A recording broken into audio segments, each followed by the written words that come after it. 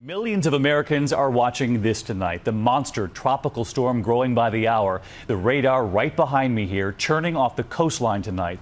And it could not come at a worse time. Hurricane warnings going up just as we come on the air tonight. And just look at the view from space this evening. Arthur is 450 miles wide. Winds already gusting up to 80 miles an hour or more, and it's just the beginning.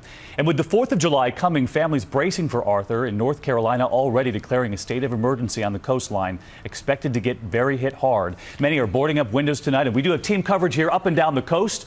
But first, we want to get right to it. Meteorologist Ginger Zee has been tracking this hour by hour. And Ginger, where is it right now? It is still well offshore of Florida, still about 400 miles away from the North Carolina coast that will be affected most. And at this hour, what we are most concerned about, David, would be those hurricane warnings. Even a mandatory evacuation just put into place for Hatteras Island. So you're seeing all the cities there, and the red is what we're really concerned about. 80 plus mile per hour gusts, definitely rough surf and coastal floods. That's for tomorrow night and early Friday morning. But check this out as we watch watch the path. This will happen overnight. This will likely become our first hurricane of the Atlantic season, and you're watching it skirt by early sea Friday 2 a.m. on the Carolina coast, and then really goes off to sea. So much of the East Coast is going to miss out on that. David, a big reason the water temperature. So you see the 80s and 90s, you need 80 degrees to fuel a hurricane, but check this out. As it goes to the 70s and 60s, it's going to kill it. Getting right down in there, we'll put it together in a future cast. This is how it's going to play out.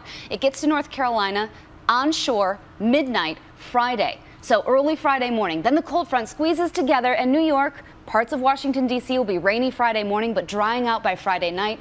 You know who's going to have a problem for Friday night? Connecticut to Boston. And we just learned as we came on the air that Boston has moved its fireworks up by a day. Shows you how widespread this is. Absolutely. All the way from the mid Atlantic through New England and obviously in the southeast. All right, Ginger, thank you for leading us off here.